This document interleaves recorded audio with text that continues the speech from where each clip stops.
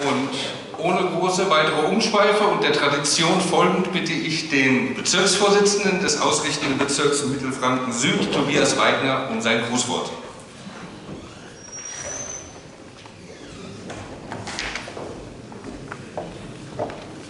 Als neu gewählter Bezirksvorsitzender des Bezirks Mittelfranken Süd darf ich Sie, darf ich euch alle hier recht herzlich in Bad Windsheim zum Verbandstag begrüßen.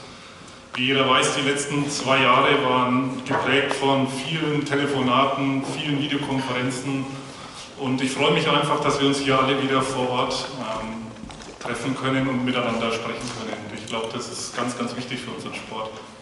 Äh, ich wünsche allen eine angenehme Eröffnungsveranstaltung, die wir schon gehört haben, unter der musikalischen Begleitung vom A Cappella Trio Yes.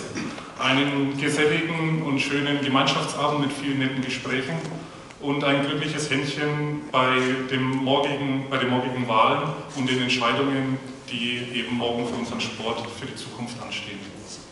Ich darf nun das Wort an unseren Präsidenten Konrad Köllmeier zur Begrüßung übergeben. Vielen Dank.